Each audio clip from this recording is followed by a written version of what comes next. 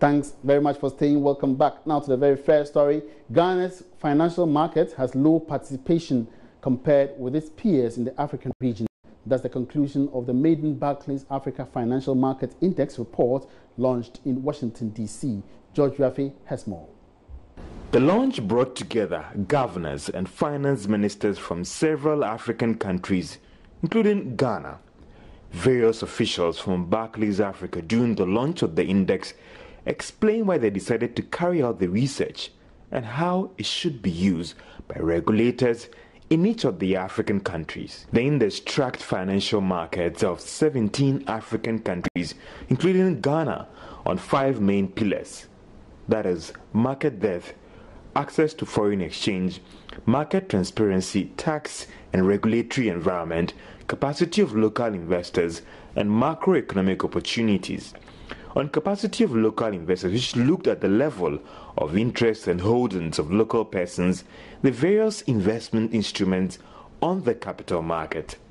In this area, Ghana scored 12 out of 100, the lowest score recorded in all the five pillars reviewed, and it was ranked 15 out of the 17 countries reviewed in this particular index. It also showed that most of the local investors haven't got the right level of savings to hold most of these assets on the market. This means that most of the assets were held by foreigners, opening us up to external shocks, capital flights, and pressure on the Ghana cedi anytime they decide to move the money away. However, despite this challenge, the country made some strong gains when it came to regulation, transparency, and tax, as it was ranked 8 out of the 17 markets reviewed. You know, the country was praised for having some strong potential for growth as well as a market leader in the region. But speaking at the program, Finance Minister Ken Ofori-Atta said they are working hard to correct the challenges identified with Ghana. South Africa came on top as having the best and the well developed market in the region. Meanwhile, the managing director of Barclays Africa, George Asante, tells Joy Business despite this challenge, regulators in Ghana have still made some progress that need to be commended. The Barclays Africa Financial Market Index is um, a report that we put together with the support of OMFIF, which is an independent think tank and a, a research organization. Um, and it's supposed to uh, determine or be a barometer of um, the accessibility and openness of African financial markets. And the intention really is to uh, have something that will help accelerate uh, structural reforms that are needed um, to be able to move the African continent ahead from a resource mobilization perspective. So uh, one of the key things we want to achieve through this is uh, to be able to have a, a, common reference point for African countries uh, and a platform for discussions, and importantly, to agree on um, where each African country is relative to what uh, best practice is supposed to be, identify gaps, and come together as an industry and with stakeholders to agree on what we need to do to close those gaps across countries. I think uh, as a measure of success, what we want to achieve really is that in a couple of years' time, we should have African markets more deepened, uh, have a broader investor base, be more inclusive, and the market should be able to mobilize uh, the necessary resources that are needed by the continent for infrastructure development. Let's come to Ghana specific, and then one would ask that how did Ghana fare in this whole report that was put out, and how can regulators in Ghana and even players in Ghana leverage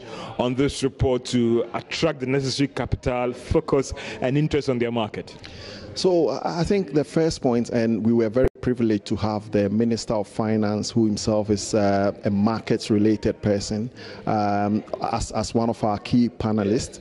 And I think the key issue for Ghana is that there are a lot of uh, positives and foundational work that have been done. Uh, so from uh, an openness perspective, uh, the country has basically uh, passed a couple of laws that allow the broadening of the pension sector, for example, which is a very important pillar uh, for market development. Um, there has also been a conscious effort to move away from a controlled uh, currency to a currency that free floats. Um, so that is also a very positive uh, achievement for Ghana. Um, Ghana came in in the midpoint, and I think some of the developmental things that needs to be done from a Ghana perspective are things like uh, addressing gaps that we have in our legal framework uh, to ensure that um, when parties in the financial market enter into contract, uh, there is absolute protection uh, for each party. So we should be talking about about documentation, is this GMRAs, how enforceable are they in the local market? If I enter into a contract with someone and there is collateral backing it, um, to what extent can I rely on the agreement I have with the person in terms of enforcing my collateral? So there are uh, very positive things that have been done, but there are also additional things that need to be done to move the country to um, the, the, the real ideal state. And I think Ghana has a big opportunity from that perspective. And back home in Ghana, Minister for Employment Ignatius Baffour says government is still committed to improving the conditions of service for workers in both private and public sectors. Some worker unions have over the years demonstrated against poor working conditions and have asked for an improvement in their working conditions. Mr. Awuah was speaking at the 2017 HR Focus Conference and Awards.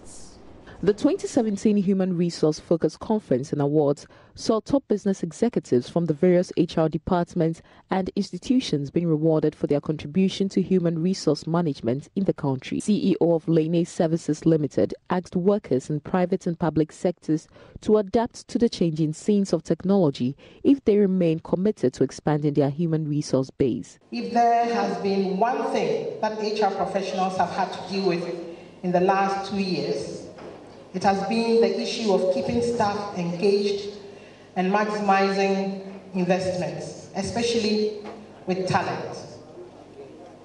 With the majority of 21st century workforce being millennials who are technologically savvy, it has become imperative for HR to rearrange themselves and relook at their culture and processes if they are to make any meaningful impact to the business, this is what they should do. Because what used to work does not really work anymore. Minister for Employment Ignatius Baffour Awuah called on employers to ensure that the rights of workers are respected.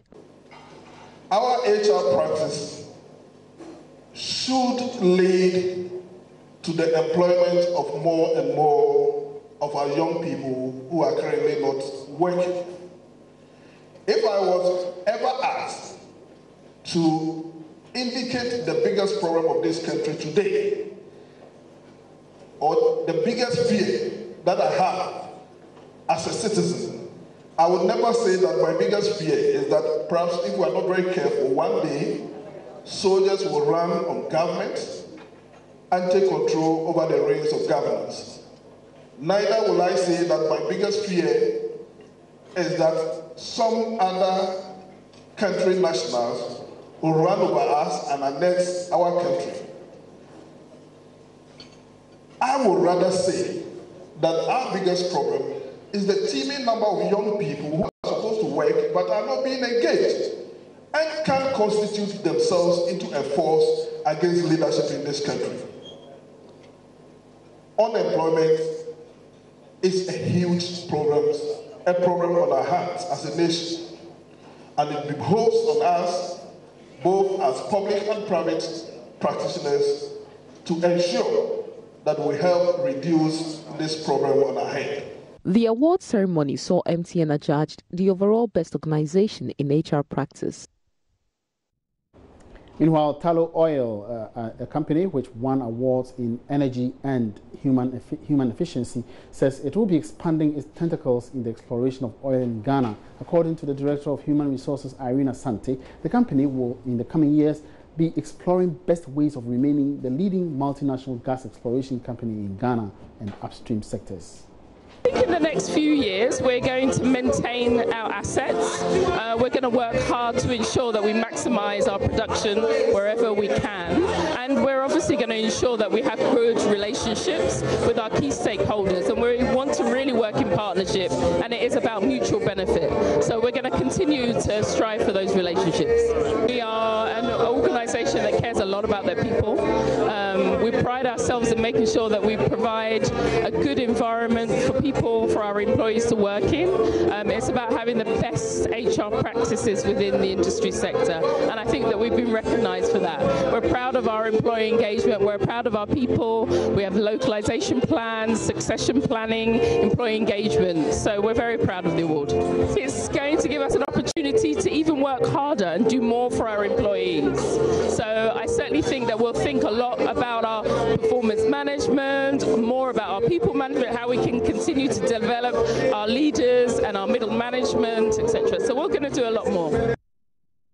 Away from that, the National Food and Buffer Stock Company, NAFCO, is embarking on a program to rehabilitate all abandoned warehouses in the country as a means to beef up the current food stock, food stock in the country. Statistics from the World Food Programme indicates that 5 million Ghanaians are food insecure. This trend, according to NAFCO, is due to the non-availability of a market for farmers across the country. Speaking to Joy Business in commemoration of the World Food Day today, Acting Chief Executive of NAFCO, Abdul Wahab Hanan, hinted of a bumper harvest in the last quarter of the year. According to him, various interventions by government, including the Planting for Food and Jobs policy, will go a long way to significantly boost national food stocks and subsequently reduce the cost of food.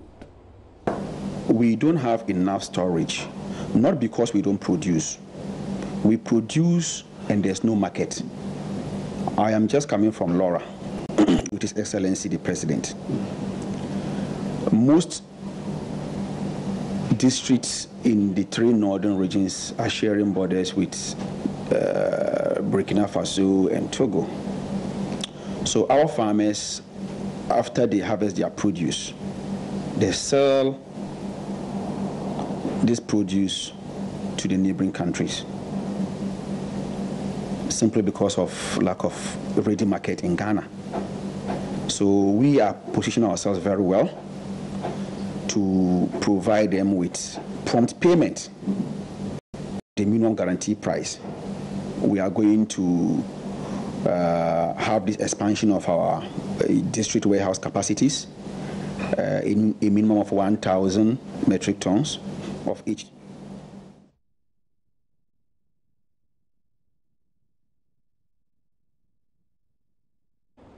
Now, development planning officers across the country have undergone training in value for money analysis on government's projects. The Petroleum Revenue Management Law mandates the Finance Ministry to publish statuses of implementation of oil-funded projects. It also requires a report to be submitted to Parliament on whether the projects contribute to economic activity at the local level. However, about 80% of these projects either go unmonitored or never get executed. Prince Appiah was at the training session and has filed this report.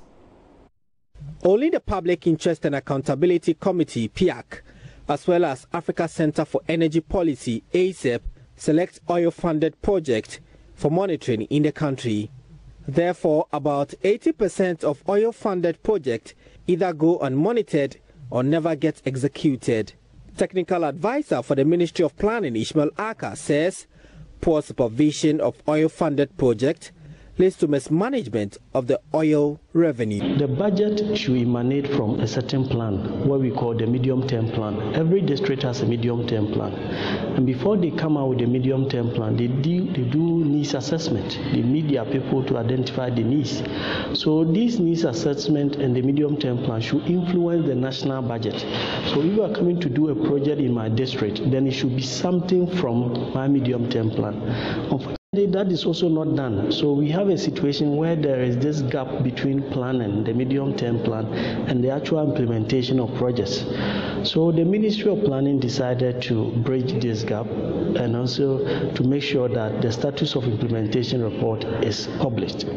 So we decided to select all uh, development planning officers in Ghana to train them, to train them in value for money analysis, to give them the list of oil funded projects so that they know which projects are within their district to track them, write reports, tell us about the contractors working.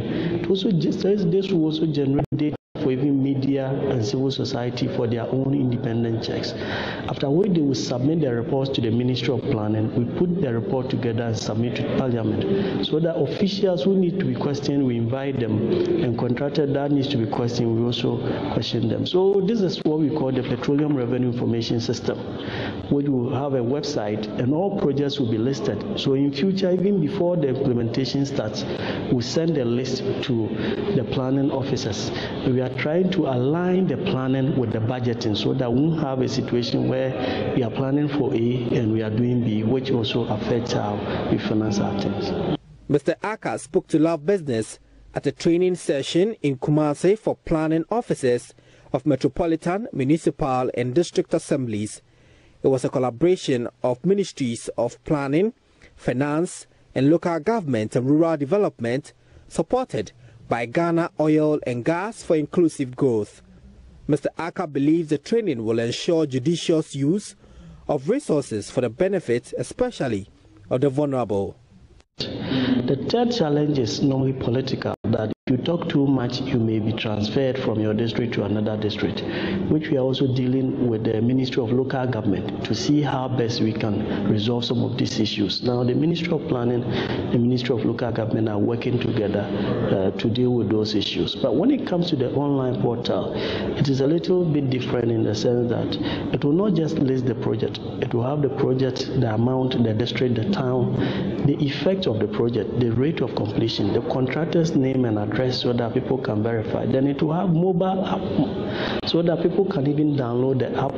You can just download it, type your community's name to see whether or oil funded project, and it will have GPS coordinates so that even if I'm in Kumasi or Accra, I can still see whether the project is ongoing or not. So, Prince Appiah reporting. The central bank will soon introduce a policy in line with the national cybersecurity policy and strategy in order to curb fraud in the banking space. This follows a recent report that revealed a more than 282% surge in fraud cases in the banking sector. In an interview with Joy Business, National Cybersecurity Advisor to Government Albert Antwi-Boasiako said plans are far advanced to finalize the policy. Each single device which is connected to a network, each single financial services product or solution that is adopted in the banking sector attracts financial fraudsters. That is why you have, let's, let's give that scientific background of why you have the increment uh, in the fraud cases. We need to address that. I was with the central bank today to meet the deputy governor to discuss some of these issues. And I think I can tell you they are finalizing a policy document that is in line with the national cybersecurity policy and strategy towards addressing those issues. Yes, you need a policy. And after the policy or the directive, then the central bank can police that policy. Because you need to set the standards, the benchmark for the financial institutions to, to step up. You know, and I think they understand, the financial sector understand that as they are enhancing digitalization of their financial environment, they need to also step, step up the security aspect of that. So, but you need a regulator to come in strongly to make sure the target is set for them to work on. And I believe thing will come up before the end of the year. It is a concern not to the National Secretariat, but specifically to the regulator, the central bank. Now, before we go, does the amount you pay for goods match up with the quantity you get?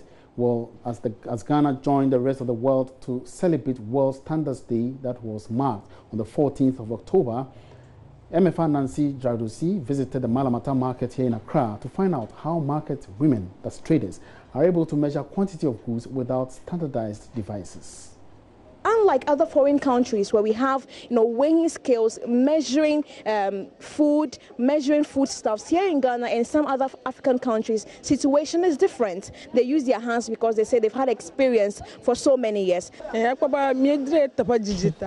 We've been selling this for so many years, so we are able to determine with our hands easily. Also, the attitude of the customers also influence the measurements of the goods.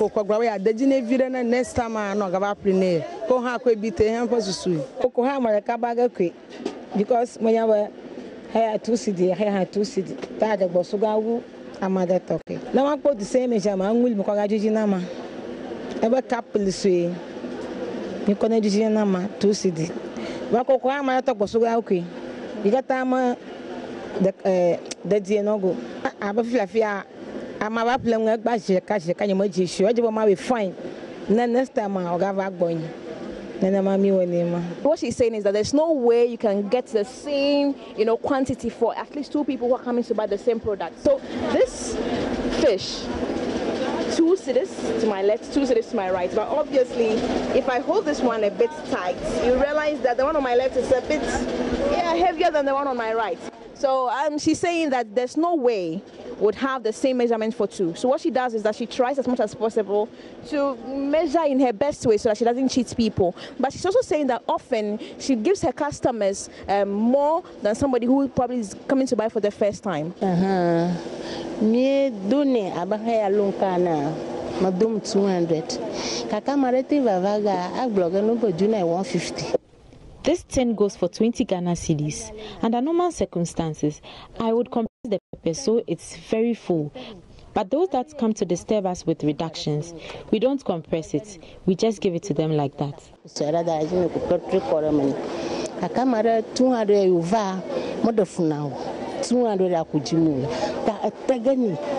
200 fine abalɛ sometimes so how kakra wobɛtumi ayɛ obi nso na 2 cedi ne 1 cedi akɔyɛ pɛ. Nti hwɛ salad deɛ ne hyehyɛ no deɛ yɛde cabbage no mmom ɛna sometimes ɛyɛ ne konkumba no. Ɛno deɛ ɔmo baa te sɛ wɔese two cedi nketewa pa a ɛwɔ mu no nso bɛtumi ayɛ no baako one cedi green pepper no nso so baako one cedi mmiɛnsa two cedi ne wei nsikina nso mmiɛnsa. Nti wobɛtumi ayɛ wobɛtumi akita wei. Waho wei.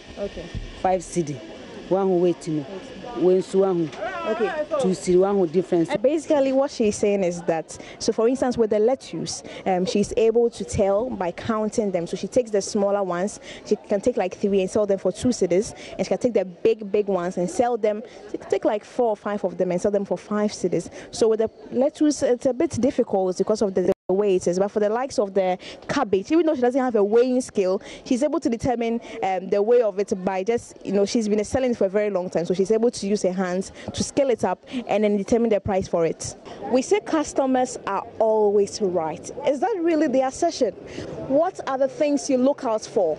The thing I do is I move around the market because I don't just be on a particular spot when I'm buying things because I know they sell it in a different ways. So when I price yours, and then I go and compare other person's prices to yours, and when I get a difference, then I decide okay this is the one i want to buy. Okay this one is much. If this is two seaters okay this is much more than the other one so let me just buy. For instance onion like this the group in, in um, maybe four is for two cities and then three is for one cities looking at the differences, the differences is just only one.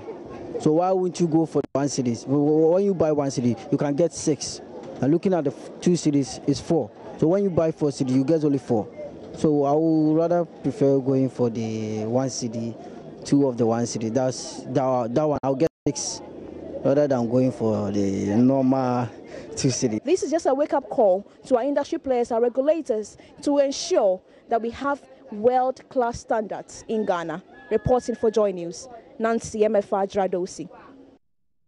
Meanwhile, the Ghana Standards Authority says it will introduce a standardized measuring system in, on the markets. Head of Metrology at the authority, Paul Michael Date, told my colleague, Gifty Andoh, on the Pulse earlier.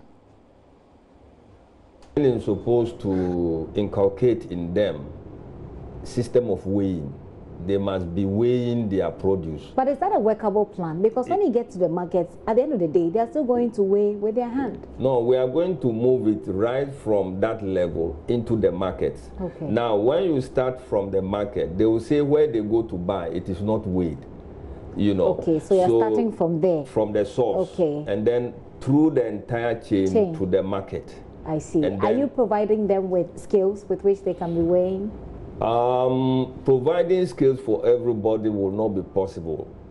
But then, um, depending on how organized various groups are, some NGOs can decide to provide weighing skills for some groups. The weighing, uh, we hope to, with our stakeholders, including World Food Program, including uh, PTB of Germany, USAID, and other donor partners, uh, Ministry of Food and Agri, Ministry of Trade and Industry, Ministry of Local Government.